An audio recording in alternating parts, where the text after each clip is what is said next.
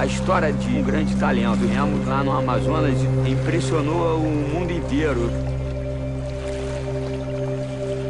E essa história dele chegou no ouvido dos melhores remadores do mundo e ele passou a ser uma curiosidade.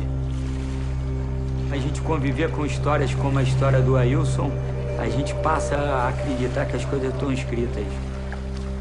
Um primeiro cara dar uma medalha de remo ao país, a ser um vice-campeão do mundo. Começou num lugar que não tinha remo no estado praticamente, por um padre na beira de um rio.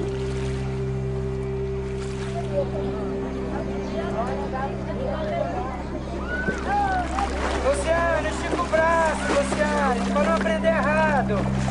Para ir reto, tem que fazer força igual, tanto do lado direito quanto do lado esquerdo. O Ailson cresceu uma antiga colônia dioceniana, onde o índice de pobreza é muito alto. A vida deles é tão ruim e difícil que ele não se permite sonhar. Então lá construí um projeto para as crianças. Uma vez eu vi um barquinho andando na água como se estivesse passeando assim. E aí, quando eu vi aquilo, eu falei, é alguma coisa especial. Chamei na mesma hora e disse, vem cá, menino, você é especial. Você pode vencer o mundo, você pode conhecer o mundo, você pode ser campeão do mundo. Eu falei no primeiro dia que eu vi. Ele acreditou nisso. Eu comecei a remar aos 13 anos. Meu técnico dizia que eu tinha um futuro. Aí comecei a acreditar. Ele sonhava com sendo campeão, eu comecei a sonhar junto com ele. Meu sonho é ser campeão olímpico. E ver aquela bandeirinha verde e amarela subindo lá no mastro do meio. Da maior emoção a gente tá lá no pódio lá assim, cantando hino e começa a escorrer aquela lágrima assim. Faltou olímpico, que é a melhor medalha do mundo, hein? A minha primeira competição foi num canoe, que não é o barco principal de competição. Aí tinha os que eram principais de competição contra eu. Aí deram a largada e me jogaram pra dentro do mato. Quando eu saí de dentro do mato, saí, fui na frente de todo mundo e ganhei. Tô ganhando desde 2006 Campeonato Brasileiro. Primeiro brasileiro até agora eu tô ganhando. Ailson. O melhor remador. Porque ele treinava aqui, aí ele se dedicava muito. Aí por isso que ele, mas mesmo assim, saiu daqui e foi ganhar a vida dele no Botafogo.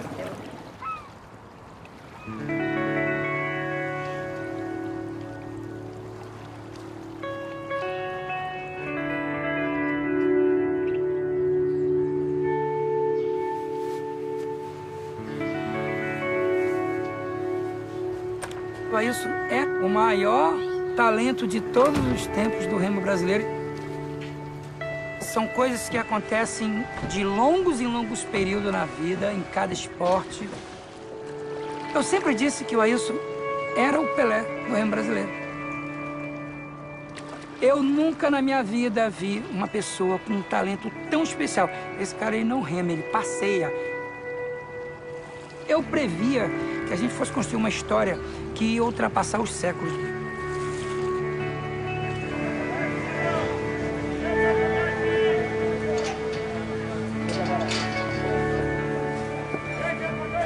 Estamos aqui na véspera da seletiva para as Olimpíadas de 2012. Vamos ver a, a equipe que vai representar o Brasil. Então isso vai ser definido amanhã. Esse ciclo olímpico que são de quatro anos, as pessoas se preparam muito para chegar justamente na Olimpíada muito bem. O Ailson no peso leve passa a ser uma esperança nossa aí para representar o Brasil nas Olimpíadas. Quanto está hoje na balança? Uns dois quilos? Ele tem que perder uns 2, 3 quilos, o que é, em cima da hora assim, é lógico, só pode ser desidratando, ele não vai perder isso em gordura. Então não é o ideal, o ideal é que ele já tivesse no peso prontinho, não tivesse que desidratar nada agora. Mas o Ailson, ele sempre opta por isso e, e é, às vezes é melhor você não estressar ele, deixar ele à vontade. isso parece muito difícil. Mas isso já aconteceu nas outras regatas. É até normal se falando de Ailson e ele perde, entendeu? Mas isso me preocupa demais, tá? Porque ele é um cara que, que é responsável pela família dele, ele é que manda recursos para a família, ele é responsável agora por um filho, e isso para ele é, é tratado até como um emprego.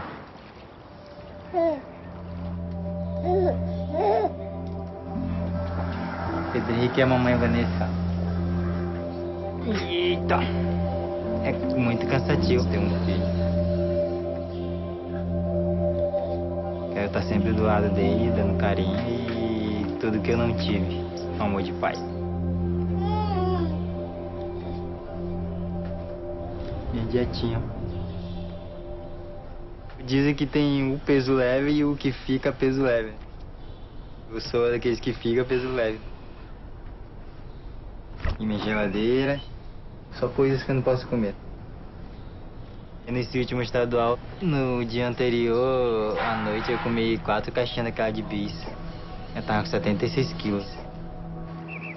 No outro dia fiz uma máquina lá e quando deu 6 horas ela tava no peso já, 72 quilos. Acho que eu nunca cheguei um dia assim pra competir que tinha que estar na máquina antes.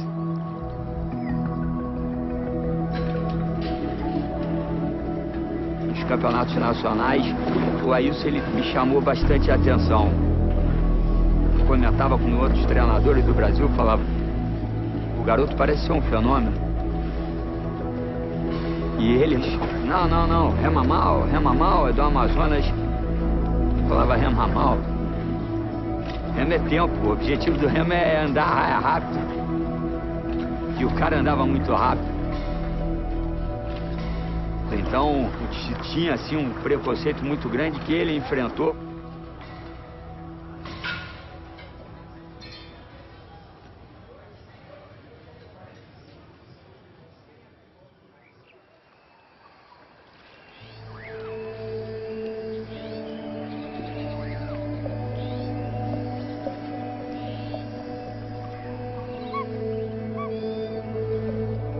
Atleta peso leve ele tem que pesar até 72,5 kg.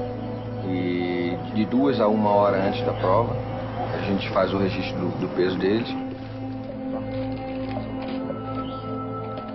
O Wilson sempre espera ele por último aí, porque ele, ele sempre tem essa, esse problema de se manter no, na categoria peso leve. Então a gente está esperando aí com expectativa ver se ele consegue, vai conseguir chegar no peso. Esse evento tem que, se, tem que comparecer aqui antes de 7h40 e então faltar 10 minutos. Espera, espera. Até 7h40. O Ailson não, parece que não entrou no peso. O Vandir acabou de falar com o treinador dele. É, agora ele ficou fora da competição na categoria peso leve. Para a Olimpíada ele tá, tá fora. Hoje, um dia triste aí pra gente. A gente contava com a presença do Ailson nas eliminatórias, que era o caminho para as Olimpíadas. E, e Ailson foi é, difícil até de entender.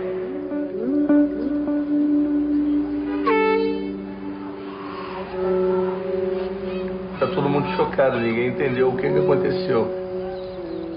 A sensação que nós temos é isso, ele rasgou um bilhete premiado. Todo atleta quer ir para os Jogos Olímpicos. O cara rasgou a passagem dele. O erro é dele. Então a tarefa dele é estar no peso. Ele vai ter que sofrer alguma penalização por conta dessa falha. Punição no bolso. A Wilson hoje é patrocinado por duas empresas. E essas empresas vão, se quiserem renovar o seu contrato de patrocínio, vão fazer com valores mais reduzidos.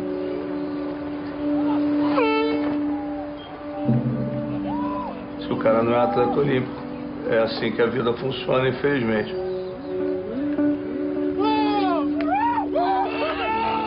Classificavam três no Brasil inteiro pra, pra ficarem selecionados pro pré-olímpico. E aí era primeiro, segundo, terceiro. E eram os três aí e tal.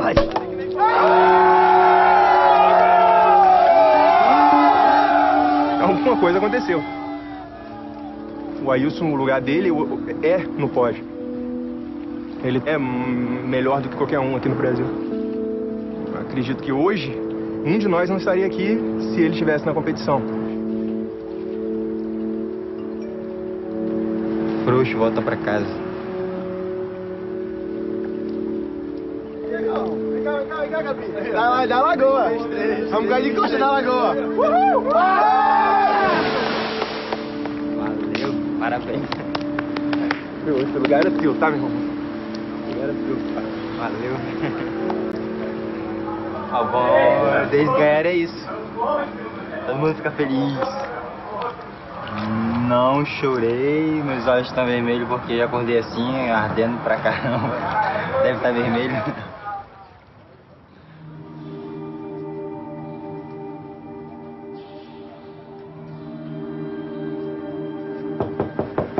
A carinha dele. Pô, vambora almoçar com a gente. Bora. Ah? Bora. Vamos lá, o... quando a gente, ele sabe disso, que a gente ficar chateado é por ele, de, de- ele sabe disso. Eu acho que, é- você acha que a gente tá chateado por quê? Por resultado ou é por você? Hein? Por mim, É por você que a gente fica chateado, que a gente quer ver ele nessa, na, na mesma alegria que os outros estão. Pô, não era? É. Então, agora, meu irmão, é bola pra frente. e- Você sabe, é, é, não dá pra chorar o leite derramado, não. Vamos lá almoçar com a galera que, que você sabe também todo mundo gosta de você e tá torcendo por você.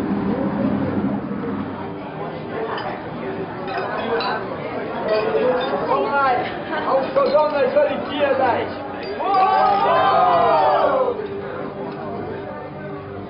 Tem hora que se a gente puder desaparecer dali, a gente desaparece.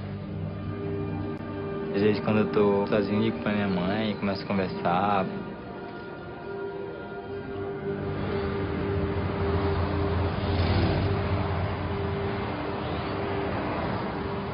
A gente sempre se sente sozinho, mas quero ir embora pra casa.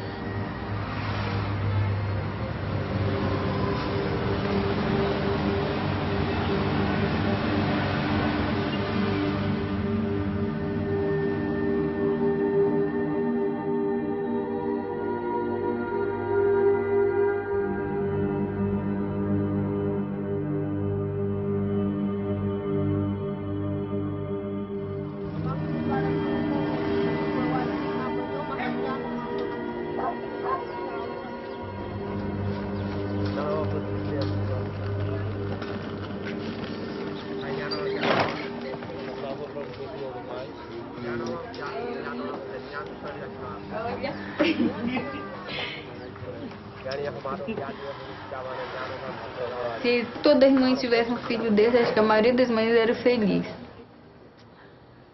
E meu filho, ele só traz felicidade, não só pra mim, como pra sobrinha, pra irmã, pra família, né?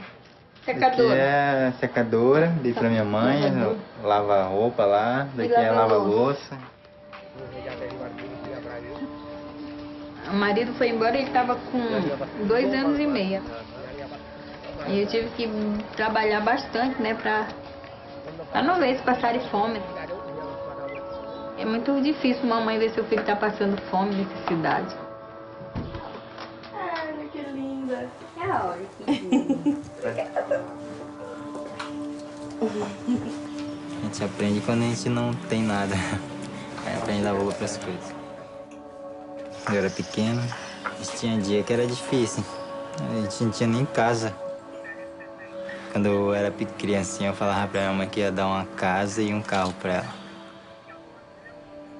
Aí às vezes eu fico pensando assim, falar pra ela, mãe, eu te dei a casa, agora só falta o carro.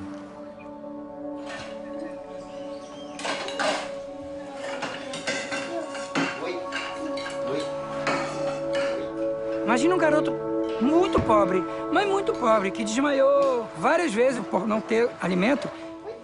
E de repente ele começa a ter dinheiro para se superalimentar. O ser humano normal, ele tende a quebrar sua ansiedade comendo. É muita coisa para um jovem de 21 anos que sai de uma cidade pequena para uma cidade enorme. Então, esse efeito sanfona de emagrece e engorda tirou as possibilidades dele de, de vencer na categoria dele. Enfim, o ninho, o ninho dele, o porto seguro dele estava aqui. Isso é responsabilidade inteiramente do Botafogo, que todos eles acreditavam que ele era um campeão porque ele era um campeão, e eles acabaram descobrindo que não existe um campeão só. Eu acho que nós perdemos a chance de escrever uma história belíssima.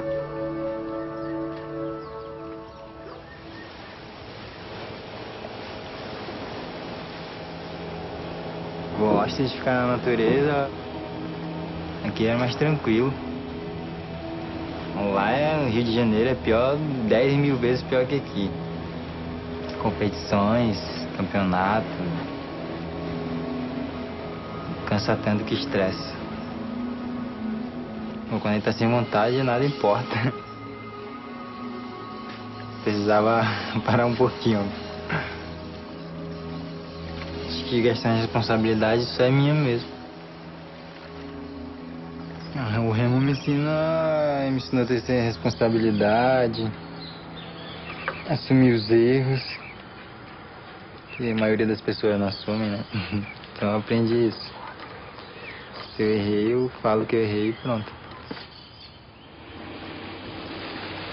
Lá no clube mesmo chegou um cara e disse, a culpa é do Xuxô, porque ele sentar no peso, não sei o quê. Eu vou falar que ele tem culpa, não tem culpa de nada. Pode ser o mesmo. A nutricionista, acho que ela não tem nada a ver, porque eu nem falava com ela. não dava nem bom dia pra ela. Agora esses tempos que eu tô falando mais com ela. Então. Na verdade eu não seguia, não seguia plano nenhum de nutrição.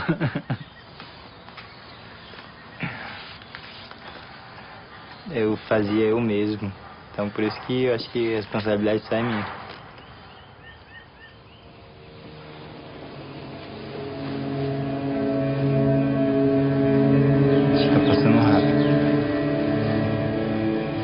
Chegou a Olimpíada 2012 e quando a gente dá uma piscada até 2016. E eu espero que eu esteja na Olimpíada de 2016. Acreditando gente chegar lá. 2016 eu obtive aqui dentro de casa. Tem um ditado que dizem que Deus escreve certo por linhas tortas. Então ele deve estar escrevendo assim.